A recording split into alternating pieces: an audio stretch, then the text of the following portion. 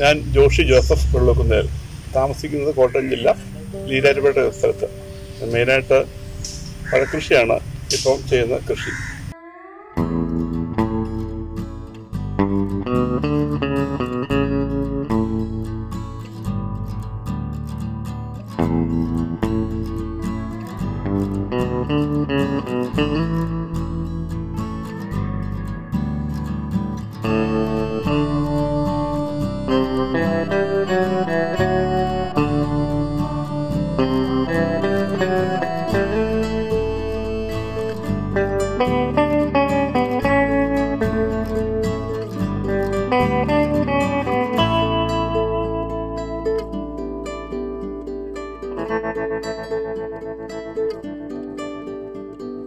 രണ്ടായിരത്തി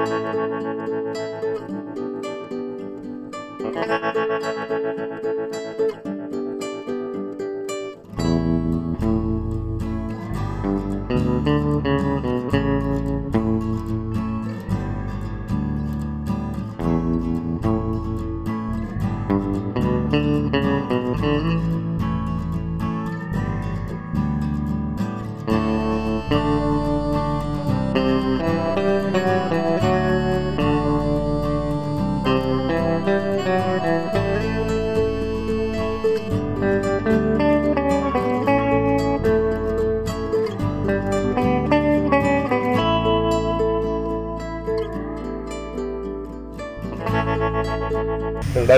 മുതലാണ് പഴങ്ങൾ കൃഷി തുടങ്ങിയത്. ആദ്യമായിട്ട് ചെയ്ത കൃഷി മാങ്കസ്റ്റിനാണ് ചെയ്തത്. ഒരു നൂറ്റി അറുപതോളം മരങ്ങൾ എന്റെ വീടിനോട് ചേർന്ന ഒരു പണ്ട് നെല്ല് കൃഷി ചെയ്തൊരു കണ്ടതാണ് അവിടെ ഇപ്പം നെൽകൃഷിയൊന്നുമില്ല അത് കുറച്ച് തെങ്ങ് നട്ടു. പിന്നെ പല പല കൃഷികളൊക്കെ അവിടെ ചെയ്തു. പക്ഷേ അന്ന് അത്ര സക്സസ് ആയിട്ട് എനിക്ക് തോന്നിയില്ല. ഞാൻ മംഗസ്റ്റിൻ പ്രധാനമായിട്ട് അവിടെ നട്ടേണ്ട കാരണം എന്താണെന്ന് വെച്ച് കഴിഞ്ഞാൽ മെയിന്റനൻസ് വളരെ കുറവാണ്. പ്രാവശ്യം നട്ടുപിടിപ്പിച്ച് കഴിഞ്ഞാൽ ഇപ്പോഴത്തെ കാലത്ത് നമുക്ക് ഓരോ പ്രാവശ്യവും കൃഷി ചെയ്ത് ഈ കുറുമ്പ് കൃഷി എന്നാണ് ഒരു ചെറിയ കൃഷി. ഇടവിള കൃഷികൾക്ക് ഓരോ വർഷവും അതിനായിട്ട് പണിയണം പിന്നെ അതിന്റെ ആദായം എടുത്ത് പിന്നെ പണിയണം അങ്ങനത്തെ തുടർച്ചയായിട്ടുള്ള പണി ഒഴിവാക്കാനായിട്ടാണ് നമ്മൾ മെയിനായിട്ട് ആദ്യം നട്ടത്. മംഗസ്റ്റിനൊക്കെ ആയുസ് ഒരു നൂറ് വർഷത്തിന് മേളിൽ ആയുസുണ്ട് കുടംപുള്ളിയുടെ ഫാമിലിപ്പെട്ട സാധനമാണ്. ഓരോ വർഷം ചെല്ലുന്തോറും മരം വലുതാവും. അതനുസരിച്ച് നമുക്ക് ആദായം കൂടുതൽ കിട്ടുകയും ചെയ്യും. പിന്നെ അതൊരു തേർഡ് ഇയർക്ക് മുതൽ കാഴ്ച തുടങ്ങി. രണ്ടായിരത്തി പതിമൂന്നൊക്കെ മുതൽ കായിട്ട് തുടങ്ങി വലിയ ആദായമൊന്നുമല്ല. എന്നാലും കുറേ പഴമൊക്കെ കിട്ടി തുടങ്ങി. അതിപ്പോൾ പത്ത് വർഷമായപ്പോഴത്തേക്ക് ഈ വർഷമൊക്കെ നമുക്കൊരു നാലര ടൺ പഴത്തിന് മേളിൽ അതിൽ നിന്ന് കിട്ടി. അത്രയും ചെടികൾ പിന്നെ രണ്ടായിരത്തി പന്ത്രണ്ടിൽ ചെയ്ത കൃഷിയും ഇവിടെ വെല്ലിച്ചമലയിൽ ആ, കുടുംബസ്വത്തായിട്ട് കുറേ സ്ഥലമുണ്ട്. അവിടെ ഒരു ഏഴേക്കർ സ്ഥലത്ത് റീപ്ലാന്റ് വന്നപ്പോഴത്തേക്കും അവിടെ മലേഷ്യൻ മലേഷ്യ റംബൂട്ടാൻ നട്ടുപിടിപ്പിച്ചു അപ്പോൾ ഇവിടെയൊന്നും അത്ര പ്രചാരത്തിലായിട്ടില്ല മലേഷ്യ റംബൂട്ടാൻ നട്ടപ്പോൾ. ഒത്തിരി ആളുകൾ വളരെയധികം വിമർശിച്ച ഒരു സംഭവമാണ്. റബ്ബറിന് ഇരുന്നൂറ്റി മുപ്പത് രൂപയുടെ മുകളിൽ വിലയുള്ള സമയത്ത് നമ്മൾ റംബൂട്ടാനൊക്കെ അതൊരു മുള്ളമ്പഴം നമ്മുടെ നാട്ടിലൊന്നും പറയുന്നതിന് അല്ലാതെ റംബുട്ടാൻ പോലും കേട്ടുകൾ മാത്രമേ ഉള്ളൂ അങ്ങനെ പറയാറില്ല. മുള്ളമ്പഴം. മുള്ളമ്പഴം വിറ്റ് നമുക്ക് എന്നാ കിട്ടാനായിട്ട്? പക്ഷെ അതൊരു രണ്ടായിരത്തി പന്ത്രണ്ട് നട്ടു പതിമൂന്ന് ഈൽഡ് നമ്മൾ എടുത്തില്ല പതിനാലായപ്പോഴത്തേക്കും അതിന്റെ അകത്തുനിന്ന് എണ്ണൂറ് മരം നട്ടതിന്റെ അകത്ത് ഒരു അഞ്ഞൂറ് മരത്തിൽ ആവറേജ് ഒരു ഇരുപത് കിലോ പഴം വെച്ച് ഒരു പത്ത് ടൺ പഴം ഞാൻ പ്രതീക്ഷിച്ചു. പക്ഷേ പറിച്ചപ്പോൾ പതിമൂന്ന് ടണ്ണോളം പഴം അതിന്റെ അകത്ത് കിട്ടും. അപ്പോൾ തന്നെ എനിക്ക് മനസ്സിലായി. സംഗതി സക്സസ് ആയിട്ടുള്ള സംഭവമാണ്. ആ സമയത്ത് നമുക്ക് നൂറ്റിപ്പത്ത് രൂപ കൊണ്ട് ഒരു കിലോയ്ക്ക് അതിന് വില കിട്ടി. അന്നേരം തേർഡ് ഇയർ മുതൽ നമുക്ക് കിട്ടാൻ തുടങ്ങുന്നു. സാധാരണ റബ്ബറൊക്കെ വെച്ച് കഴിഞ്ഞാൽ പത്ത് വർഷമായാലും നമുക്കൊരു ആദായം കിട്ടത്തുള്ളൂ. എട്ടാമത്തെ വർഷം മാർക്ക് ചെയ്താലും പിന്നെ രണ്ട് വർഷം കൂടി കഴിഞ്ഞാലും നമുക്ക് എന്തെങ്കിലും കിട്ടുള്ളൂ. സ്ഥിര വരുമാനം എന്ന് പറയത്തില്ല. വേനൽ കൂടുതലായി കഴിഞ്ഞാൽ അവരെ ഉണങ്ങിപ്പോവും. ആ, ഉണങ്ങിപ്പോകാൻ ചാൻസ് ഉണ്ട്. പക്ഷേ റബ്ബുട്ടാൻ നമ്മൾ കൃഷി ചെയ്യുമ്പോൾ തന്നെ വെള്ളം കൊടുക്കണം എന്ന് നമ്മൾ ഓർക്കുന്നതുകൊണ്ട് വെള്ളം കൂടെ കരുതും എപ്പോഴും റബ്ബറിന് ഒരിക്കലും നമ്മൾ അങ്ങനെ വെള്ളം കരുതാറില്ല. ചില വർഷങ്ങളിൽ വേനലുണ്ടായി കഴിഞ്ഞാൽ റബ്ബർ ചിലപ്പം ഒരു ബ്ലോക്കിന്റെ അകത്ത് പത്തോ ഇരുപതോ മുപ്പതോ വരെ ഒക്കെ ഉണങ്ങി പോവാം. ഇത് ഭയങ്കര നഷ്ടം. പിന്നെ നമുക്കവിടെ റീപ്ലേസ് ചെയ്യാൻ പറ്റത്തില്ല. വേറെ അവിടെ ആ സ്ഥലം അടുത്ത റീപ്ലാന്റ് വരെ കാലിയായിട്ട് എടുക്കച്ചു അപ്പം അതിങ്ങനെ വന്നു വന്ന് ഓരോ വർഷം ചെല്ലുന്നതോറും പിന്നെ എന്റെ വീടിരിക്കുന്ന സ്ഥലത്തിന്റെ അടുത്താണ് ഈ വലിയ വെള്ളിച്ചമലയിലുള്ള സ്ഥലം. വീടിരിക്കുന്ന സ്ഥലത്ത് ഇവിടെ ഒരു പതിനാറ് വർഷം മുമ്പ് റീപ്ലാന്റ് ഉണ്ടായി. റീപ്ലാന്റ് ഉണ്ടായി റബ്ബർ വെച്ചു. റബ്ബർ വെച്ച് കഴിഞ്ഞ് വാനിലയും വെച്ചു. എന്റെ കുറേ കുറേ ഭാഗത്ത് വാനിലയും നട്ടുപിടിച്ചു വാനില സക്സസ് ആയില്ല ശരിക്കും. വില അന്ന് ഭയങ്കര വില ഉണ്ടായി പക്ഷേ വില പോയി. മെയിന്റനൻസ് നമുക്ക് നടത്താവായി പിന്നെ നട്ട റബ്ബർ എട്ട് വർഷം കഴിഞ്ഞപ്പോൾ ടാപ്പ് ചെയ്യാൻ തുടങ്ങി. രണ്ട് വർഷം ടാപ്പ് ചെയ്തു. ടാപ്പ് ചെയ്തപ്പോഴത്തേക്കും എനിക്ക് അന്നേരം ഓൾറെഡി മനസ്സിലായി. വെള്ളിച്ചമല നമ്മൾ നട്ട റംബുട്ടാന്റെ റിസൾട്ടിനെ കുറിച്ച് എനിക്ക് മനസ്സിലായി. കാപ്പി ചെയ്യാൻ തുടങ്ങി രണ്ട് വർഷം പ്രായമായ ഒരു നാനൂറോളം മരങ്ങൾ ഞാൻ മുറിച്ചു ഇവിടെ ആ സമയത്ത് ഇവിടുത്തെ നമ്മുടെ ഒരു പ്രധാനപ്പെട്ട പത്രത്തിൽ മെയിൻ വാർത്തയായിരുന്നു. വിലത്തകർച്ച മൂലം കർഷകൻ റബ്ബർ മരങ്ങൾ മുറിച്ചു മാറ്റി എന്നും പറഞ്ഞൊരു ന്യൂസ് വന്നു. അത് ആ സമയത്ത് റബ്ബറിന്റെ വില പെട്ടെന്ന് പറഞ്ഞു എന്നാലും ഈ ഈയിടെ പോയത്രയും താന്നു പോയിട്ടൊന്നും ഇല്ലായിരുന്നു. ഞാൻ കാര്യമായിട്ട് മൈൻഡ് ചെയ്തൊന്നുമില്ല.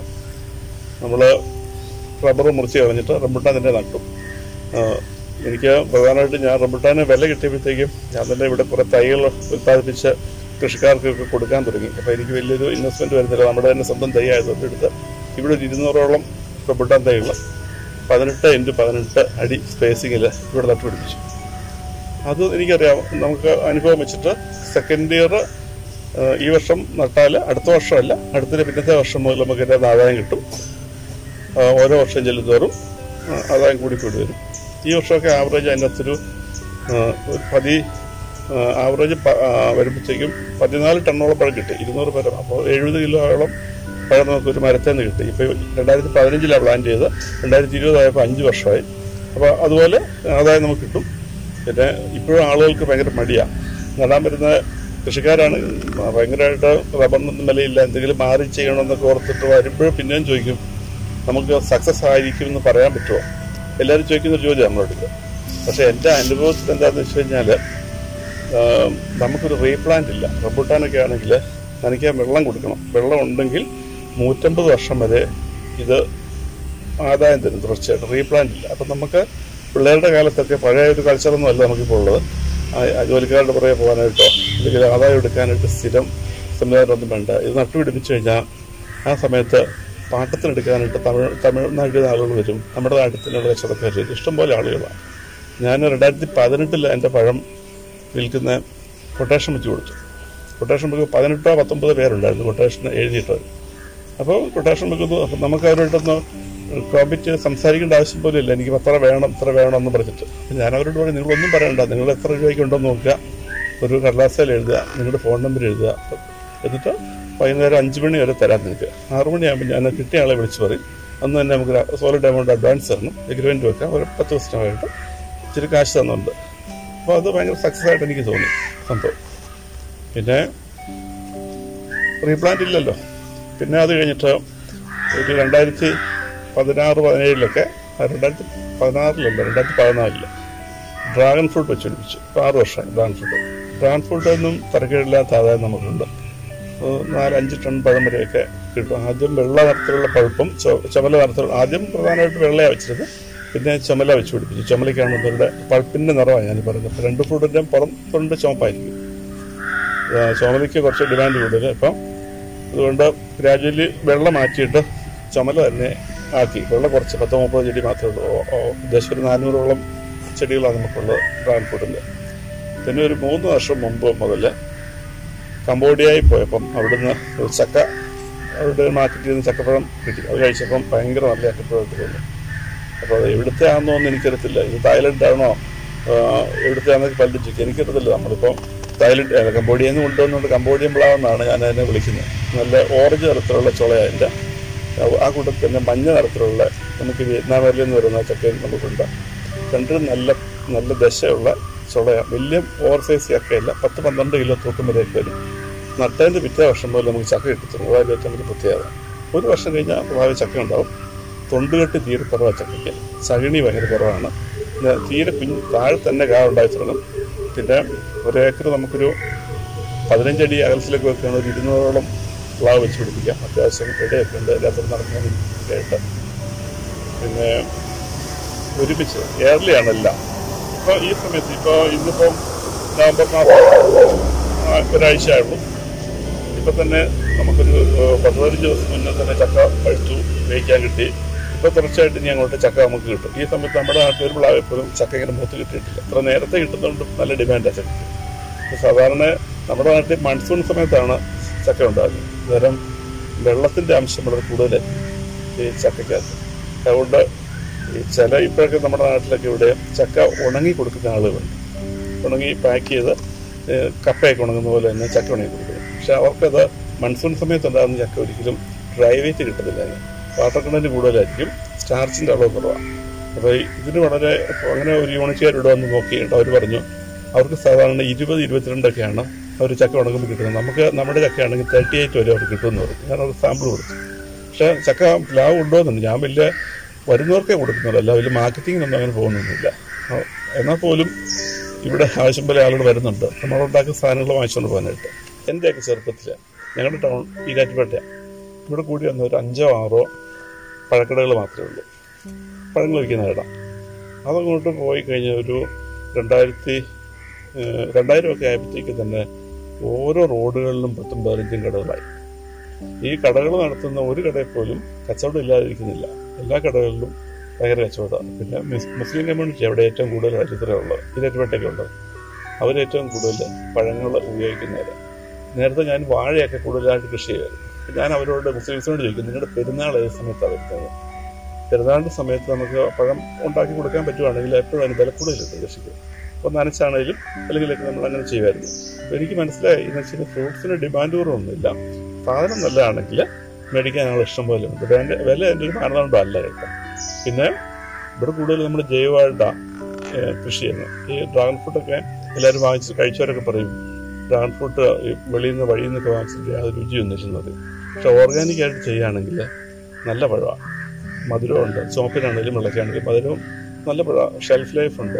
പറിച്ചു വെക്കുകയാണെങ്കിൽ പത്ത് പന്ത്രണ്ട് ദിവസമൊക്കെ ഒരു കുഴപ്പമില്ലായിരിക്കും പക്ഷെ നമ്മൾ അല്ലാത്ത പഴമൊക്കെ ആണെങ്കിൽ കേടായി തുടങ്ങും ഈ രുചി കുറവാണ്. ഈ വെളിയിൽ നിന്ന് വരുന്ന പഴമൊക്കെ. അതിങ്ങനെ ഉണ്ടാക്കാൻ വേണ്ടി ഉണ്ടാക്കുന്നത്. എന്നാൽ പോലും നമുക്കൊരു ചെടിയിൽ നിന്നൊരു അഞ്ച് ആറ് വർഷമായി കഴിയുമ്പോഴത്തേക്കും ഒരു നാൽപ്പത് കിലോയുടെ മേലിൽ പഴം കിട്ടും ഒരു ഏക്കറിൽ ഒരു അറുന്നൂറ് ചെടി വെക്കാം. ഡ്രാഗൺ ഫ്രൂട്ട് അറുന്നൂറ് ചെടിക്ക് ആവറേജ് ഒരു ചെടിയിൽ നിന്ന് ഇനി അറുന്നൂറ് വേണ്ട അഞ്ഞൂറ് നിർത്തുക ഒരു നാൽപ്പത് കിലോ പഴം വെച്ച് കിട്ടുക ഒരു ആറാമത്തെ വർഷം കിട്ടുമ്പോഴത്തേക്കും ഇരുപത് ടൺ പഴം കിട്ടുകയില്ല.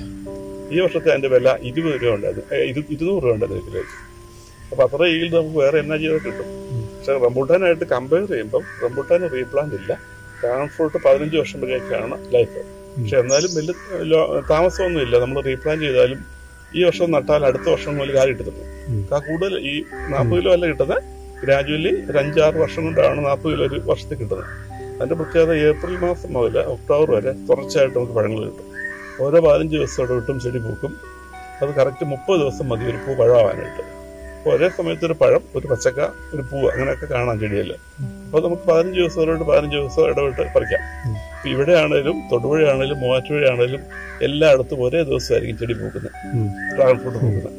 അപ്പോൾ കച്ചവടക്കാർക്ക് അറിയാം സാറേ നമ്മുടെ ഇവിടെ പഴമായില്ലേ വിളിച്ച് ചോദിക്കരുത്. അവർ ചോദിക്കുന്നത് എന്താണെന്ന് വെച്ച് കഴിഞ്ഞാൽ അവർക്ക് കൂടുതലും ഉണ്ടാകുന്നുണ്ട് ഈ വർഷം പുറത്തുനിന്നുള്ള പഴം വരവ് വളരെ കുറവായിരുന്നു. അല്ലെങ്കിൽ ഇപ്പോൾ ആളുകൾ നമ്മളിവിടെ ഇത് കഴിക്കുന്ന ഒരു ഇതായിട്ടുണ്ട് കൂടുതൽ ഒത്തിരി ഹെൽത്ത് കോൺഷ്യസ് ഉള്ളവരാണ്. കൂടുതൽ ഓർഗാനിക്കായിട്ട് ചെയ്യുന്നു. പിന്നെ ആന്റി ഓക്സിഡന്റ് ഭയങ്കരമായിട്ടുള്ള ഫുഡാണ് ഭയങ്കരമായിട്ട് ഫൈബർ ഉണ്ട്. ഷുഗർ പേഷ്യൻസിന് കഴിക്കാം. ഡ്രാഗൺ ഫുഡ് പിന്നെ നമുക്ക് അത്യാവശ്യം വീടുകളിലൊക്കെ വൈനിട്ട് സൂക്ഷിക്കുന്നതിനൊക്കെ ഭയങ്കര നല്ല ഭയങ്കര നല്ല സാധനമാണ്. ഉം, അതിന്റെ അകത്ത് കഴിക്കുന്നതൊക്കെ നമ്മുടെ കോൺസ്റ്റിപ്പേഷൻ ഭയങ്കര നല്ലതാണ്. അത് ഏറ്റവും വലിയ പ്രത്യേകത കഴിക്കുമ്പോഴത്തേക്ക് നമ്മുടെ വയറ് നല്ല ക്ലീൻ ആവും കഴിച്ച് ഈ ബാക്കിയുള്ള കൃഷികളെ ഒക്കെ ആയിട്ട് വെച്ച് നോക്കുമ്പോഴത്തേക്കും ഫ്രൂട്ട് ട്രീസ് നമ്മൾ പ്ലാൻ ചെയ്യുകയാണെങ്കിൽ നമുക്ക് റെഗുലറായിട്ട് എല്ലാ മാസവും അല്ല എല്ലാ ആഴ്ചയിലും അല്ല ഞാൻ പറയുന്നത് എല്ലാ വർഷവും റെഗുലറായിട്ട് നമുക്ക് ഇൻകം കിട്ടും. അതിന്റെ പിന്നെ ഒരു നമുക്ക് എന്നാ ഓരോ പ്രാവശ്യം റീപ്ലാന്റിങ് സംഭവം ഇല്ല. പിന്നെ ഇതുപോലത്തെ ചെടികളൊക്കെ വലിയ ഹൈറ്റ് ഒന്നും ഇല്ലാത്തതായതുകൊണ്ട് കാറ്റടിച്ച് പോയെന്നോ അല്ലെങ്കിൽ നനയ്ക്കുന്നതുകൊണ്ട് വെയിലടിച്ച് പോയെന്നോ ഒന്നും പറയത്തില്ല. വെയിലടിച്ച് പോകുന്ന എങ്ങനെയാണെന്ന് വെച്ച് കഴിഞ്ഞാൽ നമ്മൾ നനയ്ക്കാൻ കരുതാത്തതുകൊണ്ടാണ് നമുക്ക് വെയിലടിച്ച് പോകുന്നത്? വേനലിൽ വന്നിട്ട് പോകുന്നത്. നമ്മൾ ആഴ്ച ഒരു ദിവസം വെള്ളം കൊടുക്കുകയാണെങ്കിൽ ചിലപ്പോൾ വെയിലിന്റെ ചൂട് കൂടി. പ്രാവശ്യം തേർട്ടി നയൻ വരെയൊക്കെ നമ്മളിട്ട് വന്നായിരുന്നു. പക്ഷേ അന്നേരത്തേക്ക് അത്രയും കൂടിയപ്പോൾ നമ്മൾ ആഴ്ചയിൽ ഒന്നുമല്ല അഞ്ച് ദിവസത്തിലൊരിക്കൽ നനയ്ക്കാൻ തുടങ്ങി. അന്നേരത്തേക്ക് ഇന്റർവെൽ അല്പം കുറച്ച് കഴിഞ്ഞാൽ നമുക്ക് അതിനെ പിടിച്ചു നിർത്താൻ പറ്റും. പിന്നെ എനിക്ക് തോന്നുന്നു ബാക്കി നമ്മുടെ ഈ റബ്ബറെ നിന്നൊക്കെ ഒന്ന് മാറി ചിന്തിക്കേണ്ട സമയമായി. റബ്ബറെ തന്നെ പഴയ പരമ്പരാഗത ഓരോ സമയത്തൊക്കെ നല്ലതായിരുന്നു. മോശമാണെന്നല്ല പറയുന്നത്. എന്നാലും ഒക്കെ ഈ ഇപ്പോഴത്തെ ഒരു ഇത് വെച്ച് നമുക്ക് തെങ്ങയിലൊക്കെ കയറി ഇട്ട് ഇട്ട് കഴിഞ്ഞാൽ നമുക്കറിയാം. ഇവിടെ ഒന്നും ഒരു തെങ്ങ് നമ്മുടെ നാട്ടിലൊന്നും ഒരു ഈൽഡല്ലേ നമ്മുടെ നാട്ടിൽ ഞങ്ങളുടെ ഈ മീനച്ചി താലൂക്കിലൊന്നും ഒരു ഈൽഡായിട്ട് പറയാൻ പറ്റത്തില്ല ഇപ്പോഴും. പടിഞ്ഞാറൊക്കെ നല്ലതായിട്ട് ഉണ്ടാകുന്ന സ്ഥലങ്ങളാണ്. എന്നാലും അത് മണ്ടരിക്കേട്. അതൊക്കെ നമുക്ക് കേട്ട് കേൾവി പോലുള്ള സംഭവമൊന്നുമല്ല. പണ്ടൊന്നും അങ്ങനത്തെ സംഭവമൊന്നും പുതിയ പുതിയ കേടുകൾ വരുന്നു. പിന്നെ ഈ കുറുമ്പ് കൃഷി എന്നാ ഇഞ്ചി കാച്ചിൽ ചേന എന്നൊക്കെ പറഞ്ഞിട്ട് അതൊന്നും എല്ലാ വർഷവും പണിക്ക് പോകണ്ടേ നമുക്ക് അതിന്റെ അകത്ത് നമുക്കൊന്നും കണക്ക് നോക്കുമ്പോഴത്തേക്കും അതിന്റെ അകത്തൊന്നും നമുക്ക് റിട്ടേൺസ് കിട്ടുന്നില്ല ശരിക്കും.